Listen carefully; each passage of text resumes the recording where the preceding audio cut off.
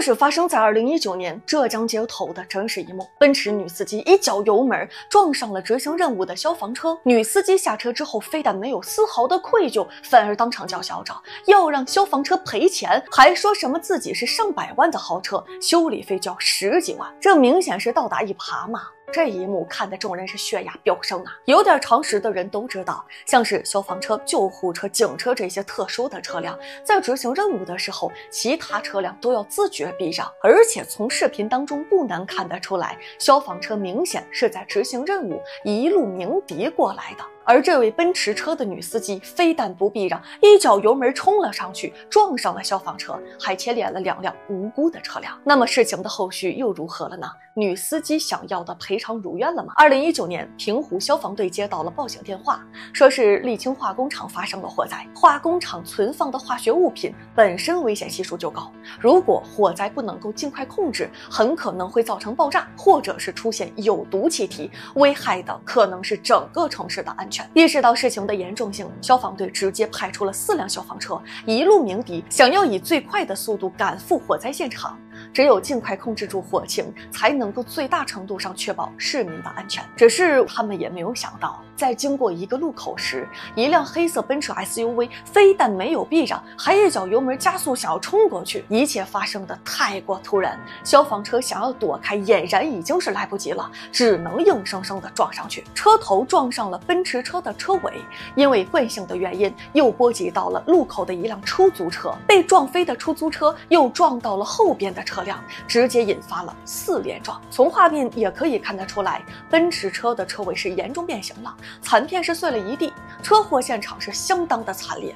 好在没有人员伤亡，但是女车主接下来的奇葩表现可以说是震碎了在场众人的三观。消防队员下车查看，发现没有人员伤亡，赶紧报了警，说明情况之后就立马开车赶赴了火灾现场。不一会儿，交警就赶到了现场，奔驰女司机的一番操作直接。将处理事故的交警给整不会了。只见他振振有词地说自己是正常行驶，莫名其妙的就就被消防车给撞了，还理直气壮地提出了自己的诉求，要求消防车赔偿修理费。交警勘察过现场之后，也反复观看过车祸的监控，事故责任并没有什么分歧，很好划分。这明显是因为奔驰车没有避让消防车所造成的，应该让女司机来负全责。听到他这样说，只能耐心的解释：“张女士啊，按照法律规定，一切车辆应该避让执行紧急任务的消防车。从监控视频也可以看得出，这起交通事故是因为您没有避让消防车所造成的，所以您应该负。”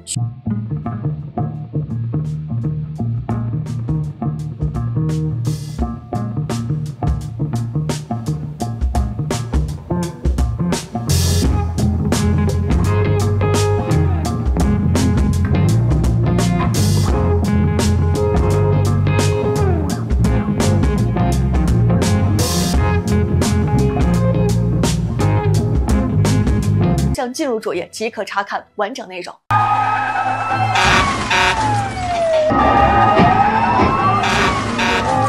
这是二零一九年发生在监控下的真实一幕：奔驰车一脚油门冲出了路口，撞上了正在执行任务的消防车。没有想到，女司机非但没有丝毫悔意，下车之后就叫嚣着要让消防车来赔偿。上期咱们讲到，车祸发生之后，消防员查看没有人员伤亡，报警之后就忙着去救火了。交警赶到现场之后，通过监控视频判定奔驰女司机来负全责。没有想到，这一下子可是捅到了马蜂窝了。如果您想了，解解故事的完整内容，就点击屏幕右侧我的头像，从主页查看上集视频。这奔驰女司机还是一个硬茬，一听说交警判处自己全责，立马就不干了，大声嚷嚷着：“明明是消防车不遵守交通规则，凭什么我要负全责？”还说什么自己的豪车是上百万的，光是维修费就得十几万，就消防员那一个月几千块钱的工资根本就赔不起。处理事故的交警看到他撒泼，只能耐心的解释。消防车执行任务时享有优先通行权，张女士死活听不进去，还大骂交警处理不公平，嚷嚷着自己有关系，你给我等着，我找人来摆平。交警也是被气得无语了。只见女司机一脸得意的开始打电话，对着电话那一头就说起了他那一套嚣张的说辞，还越说越加的委屈。那绿灯嘛，反正还有几秒，我应该能过去的。等我跨出那个线的时候，我向右边一看，我感觉那个车。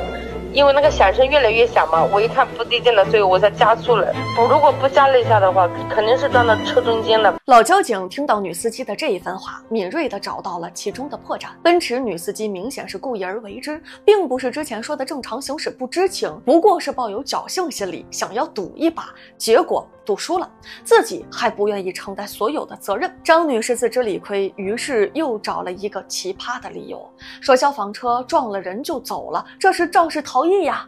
为了推卸责任，这理由找的交警都快要笑。最终还是交警使出了杀手锏，告诉张女士不必让特殊的车辆，轻则罚款，重则拘留。听到交警这么一说，奔驰女司机总算是不再折腾了，乖乖的赔钱了。如果您还想听我讲述更多的同类故事，不妨加个关注，点击我的头像进入主页观看您喜欢的内容。